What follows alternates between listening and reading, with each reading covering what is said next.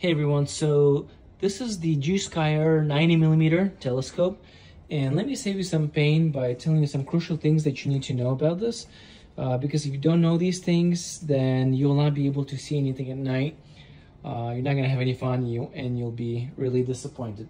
So once you get this thing you obviously want to set it up. You know that part is pretty straightforward. You just follow the instructions you know. You set up the tripod then you attach the telescope to it. You put in this little handle, uh, insert this guiding scope, put in a lens here, and you're pretty much ready to uh, go. But the next crucial step is to actually calibrate the telescope. And I did not know that you have to do that. And so I got super excited, tried to look at things, could not see anything. But once I figured out how to calibrate it, uh, everything, everything became super fun. So to calibrate it, you can do this during the day or uh, if you have the moon out you could do it at night as well. Basically what you want to do is you want to put on a 25 millimeter lens in here that offers the least amount of magnification. You know you have your other lenses here. The smaller they get the more magnification they provide. So you want to make sure you're using this one right here. And then you want to look through this lens directly at the object you're using to um, calibrate. So if you're looking at night and you're looking at the moon, you want to make sure the moon is directly in the center here. Once it's in the center, you want to look through this guiding scope right here. There's a little crosshair in there, and you want to make sure you that's focused directly on the moon. And to do that, you just basically um, adjust these little screws that you're going to have right here. Mine uh, sadly broke off because my toddler knocked this over, so make sure you guys are careful with yours. It's very fragile if you drop it. But you're gonna adjust those screws here and here until the little crosshair in here is pointing uh, direct directly at the moon as well. Um, so once that's the case, once this is looking directly at the same object as this, then you know that your um, telescope is calibrated. So once that's the case, then you can actually look for things in the sky. So if you want to look at Jupiter, for example, you would point this at Jupiter, get the crosshair directly on Jupiter, and then you should see it in here if the thing is calibrated. And then from then on, you just uh, adjust the focus and, you know, and get it right. Um, because you know you already, you're pointing in the right direction, you just need to get the focus right.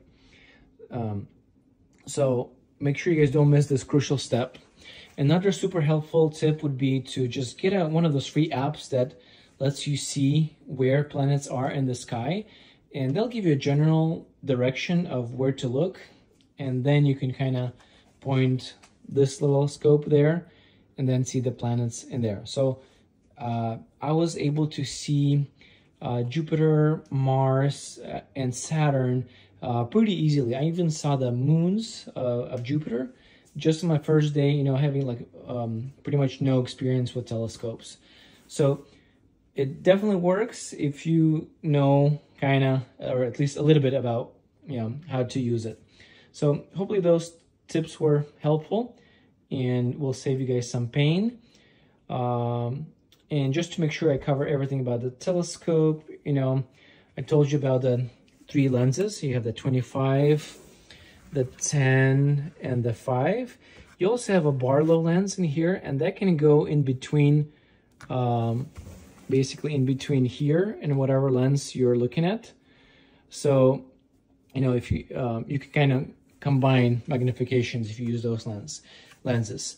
You also have this little device right here where you can put the lens inside here and attach it, you know, here and then you'll put your phone here, get the adjustments right, uh, adjustments right, so that the uh, camera of the phone is pointing directly over here. And then you'll actually be able to record whatever you're looking at, or at least display it, you know, on the phone here. And that's super useful for kids because for them it's kind of hard to look through here and actually see something because, you know, they have to get their eye in focus and some of them can have trouble doing that. But if you put the, if you put the phone in here and you know, it makes it very easy for them. They could just look at the phone and still see, you know, whatever the telescope is seeing. So that part is super um, helpful too. Make sure you guys figure out how to use this thing. You also have this little remote. I guess you could use an app that uh, comes with it and um, use it to take pictures and stuff like that.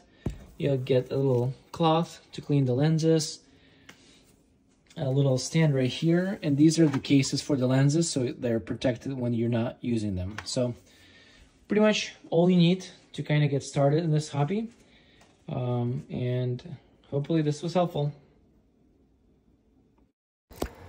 So this is me using the phone attachment uh, and recording what the telescope was seeing when I was looking at the moon so it's pretty cool that you could see all the uh, craters on the surface and I believe this is the 25 millimeter attachment. So you could technically uh, zoom in even closer with the other lenses.